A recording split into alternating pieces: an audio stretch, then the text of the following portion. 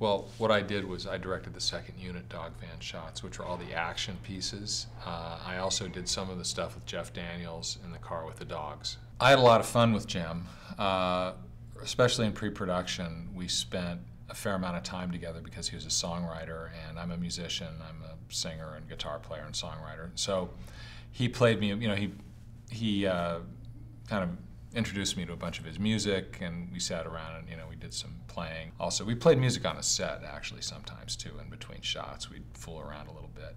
And Jeff Jeff was a nice guy, but he was not very. Uh, shall I say? He wasn't terribly gregarious. He was very nice, very professional. We chatted a little bit, and it was cordial, but he was not. He was into being in his own world by himself and sort of kept himself to himself. Everybody was fine. Everybody was professional and showed up and did their job, and uh, nobody wanted any special treatment that much. You know, I mean, Jim and Lauren Holly and Jeff got, you know, a little more deluxe accommodations than everyone else, but uh, but that's sort of to be expected since they were the stars of the movie, and but nothing extreme. They were they were all everybody was pretty great.